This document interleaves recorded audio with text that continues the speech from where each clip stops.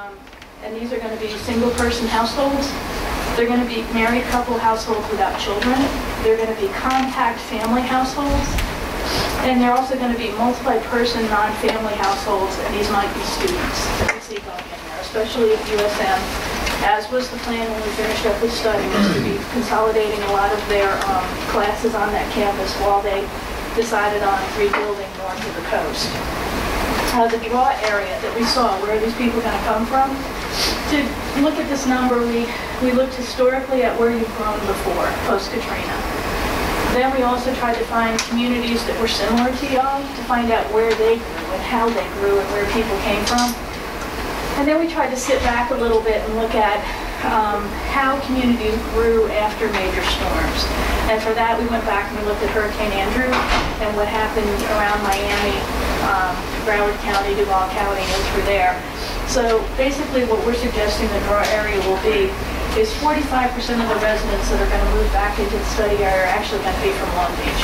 Um, luckily, a lot of us have selective memories. Already, my house just seems like it's the most perfect thing um, even though we've had five feet of water. But people will come back. And we figure 45% of the people that come back to that area are actually going to be Long Beach residents. Some of them will have lived there before, but I think you're also going to have people that are downsizing, and that provides an opportunity to downsize and then also be within the center of activity in that area. We also see about 23% of the residents will be from Harrison County.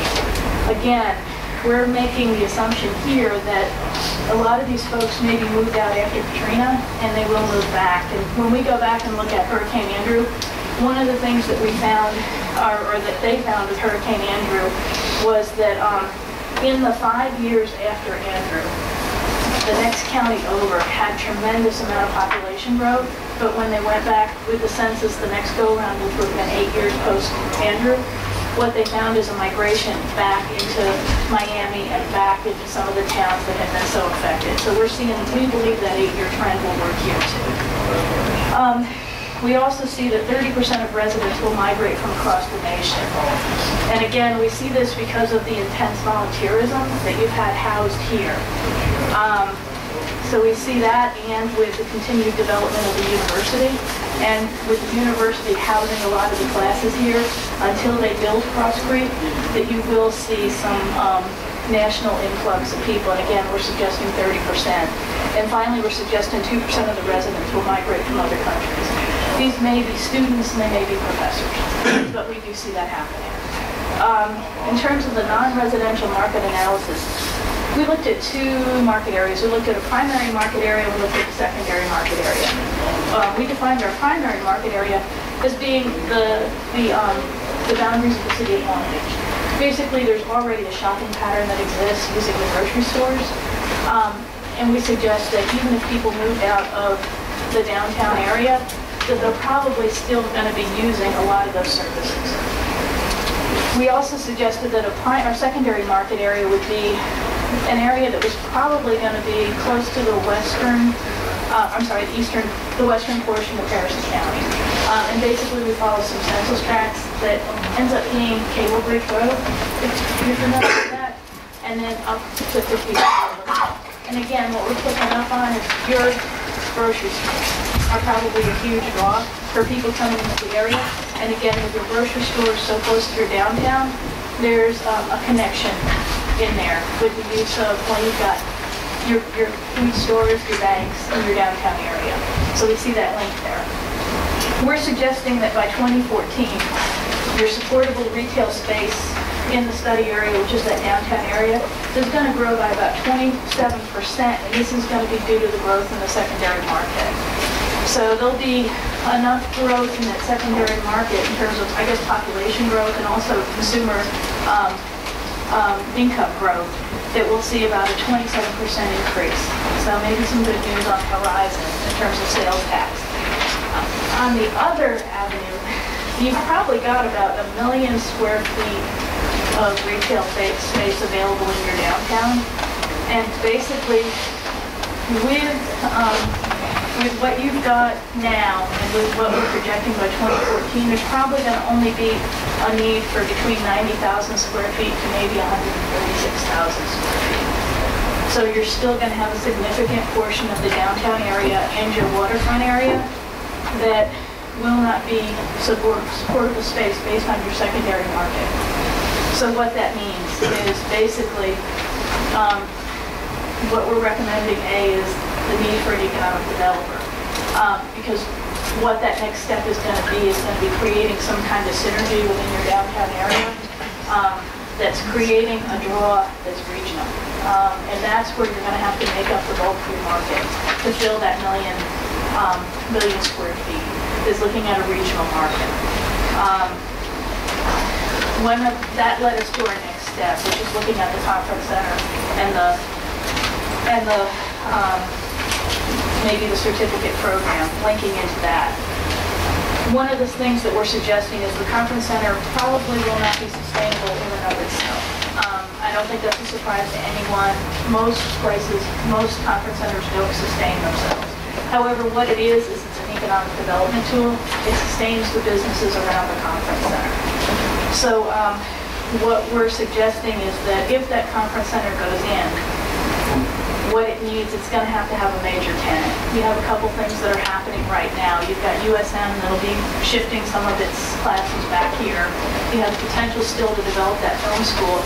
You also have the potential for um, the, the Gulfport Harbor expanding, the port expanding, and there may be a need for training that they don't have on site there to be able to utilize your facility here.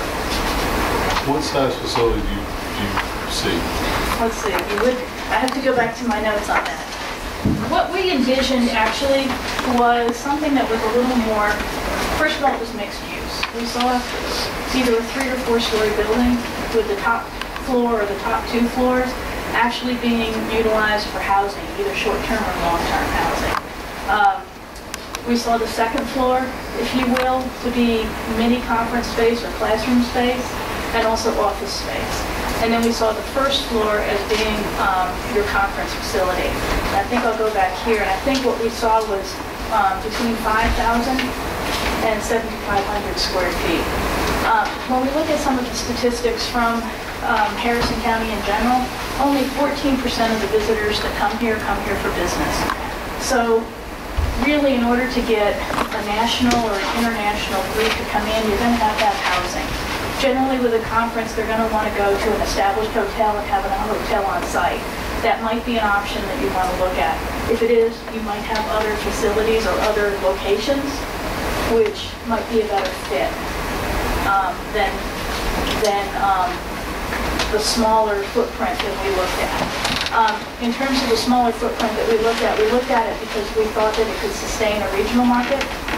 We thought that it could sustain or complement what was going on at the university. And we thought it could grow a film school until the film school moved onto campus.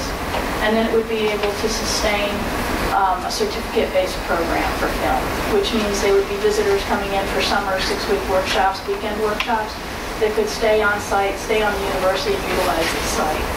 So what we tried to do was um, be a little conservative on this and really suggest that 5,000 to 7,500 would provide an impact within the downtown area and complement the university and also have the potential to be a little more sustainable in that you would have a built-in client if you work on that relationship.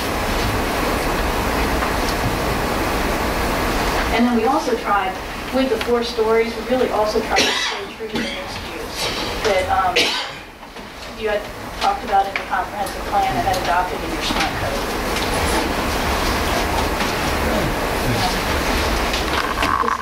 Are there any questions? Yes. Sue, I have one. Sure. The million square feet that you said is available, is that currently all occupied space or is that still empty? That's empty.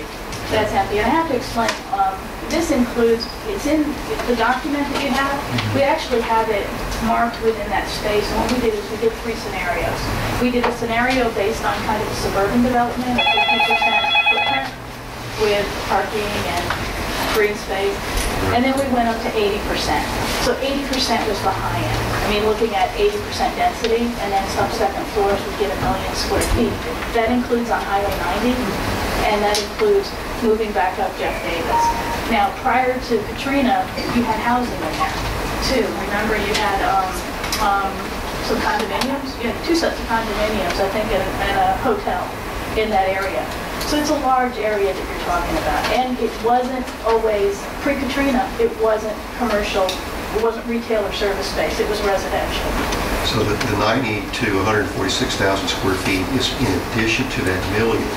No, the 90, basically what we're saying is you can fill about 10% of your, your available space with retail by 2014. So, so that 94,000, yeah, that's, that's 10% of a million. Some of that unoccupied retail space is not in ideal locations. No, it's You know, not. Currently, there are, I think, better locations that it- that retail could go in, in the quantities of 10, 15, 20,000 square foot chunks. Yes, and what we did too in the study is we actually um, earmarked what we thought were key target gateway um, facilities, if you will, places where you really didn't need to make a mistake. And those were at either corner of Jeff Davis and 90. Right. Um, Those were key. And one of the thoughts that we had is, depending on your economic developer, Main Street has a wonderful program called the Community Initiated Development. And basically what happens is the community works with the developer to bring a developer in and then get what they need. Um, Historically, this has been like looking at some of the hotel convention centers in some of the larger cities. Rouse, Rouse did a lot of it with, with some of his river walks and everything. Well, now, you know, it's got a new name because it's 2010, and now it's called Community Initiated Development. And, and basically, it's working with the developer to make sure, maybe it's not the tax incentives, but it might be helping them get through um, the process quicker, helping them, in this case, you're going to have an issue with assembling property, because you've got a lot of individual parcels there. Even your big parcels aren't big when you start to develop. Um, So it might be where the city has to help in that avenue. Um, There are, I know we didn't get in-depth with a lot of that in here, but there are things that are, some of the communities are looking at right now, like land trust.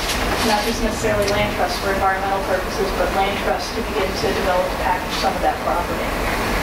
Um, that might be an avenue that you might need to go down, but you're not going to know that until you start looking at um, how you as a city want to participate with those key, um, those key gateway properties. Right. And and then finally, I want to make sure I understood you, uh, don't want to put words in your mouth. You recommended that the city hire an economic development director? I think you're going to need to because some of the issues that you're looking at, first of all, I think you're going to, you're going to have, well, now in particular, should we finish this prior to BP? Um, And, and I think if we had won six more weeks, one of the elements that we really would have said is you really need an economic developer because now there's going to be another issue to overcome. Or which is- skimmer? yeah. We can find another source for that. Um, But no, seriously, now there's going to be, um, now there's going to be another avenue that you're going to have to look at, which is how do you overcome that, the, what the media has said about the coast. But yes, I think you're going to need an economic developer because you're going to have specific issues. You're going to have to begin to package those properties, so you're going to have to have somebody who has the ability to be able to do that research on the part of the developer and on the part of the city. You've also got a new code.